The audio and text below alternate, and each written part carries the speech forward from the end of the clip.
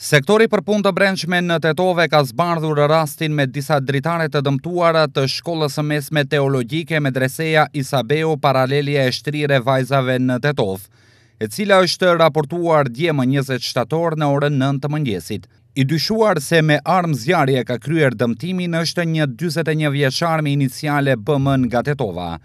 I njëjti dje rreth orës tetëmbëdhjetë e tridhjetë minuta është thirrur në stacionin policor të Tetovës, ku i është konfiskuar pistoleta CZ me një kornizë me dymbëdhjetë plumba të kalibrit nëntë milimetër, për ekspertizë dhe pasi të dokumentohet plotësisht rasti, do të përgatitet një parashtresë e përshtatshme sipas nenit dyqind e tetëdhjetë e tetë të Kodit Penal, për shkaktimin e rrezikut të përgjithshëm. Sektori për Punë të Brendshme Tetovë Departamenti i Punëve të Brendshme Gostivar në Prokurorinë Themelore Publike Gostivar ka ngritur kallëzim penal kundër dyzet e dy vjeçarit me iniciale NA nga Vrapçishti i Gostivarit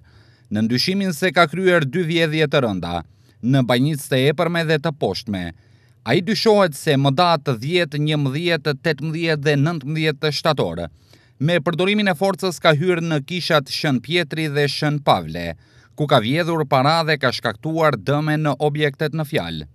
Mbrëmë rreth orës 22:10 minuta, personi me iniciale IS, dyzet e tre vjeçar nga Gostivari në sektorin për punë të brendshme Tetovë,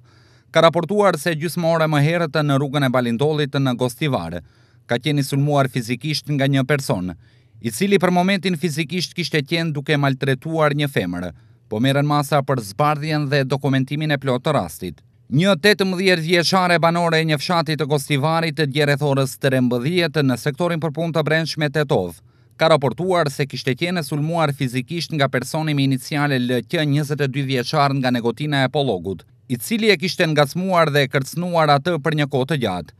Rasti është duke u sqaruar dhe dokumentuar. Njofton Fatmir Rexhepi, zëdhënës në sektorin për punë të brendshme në Tetovë.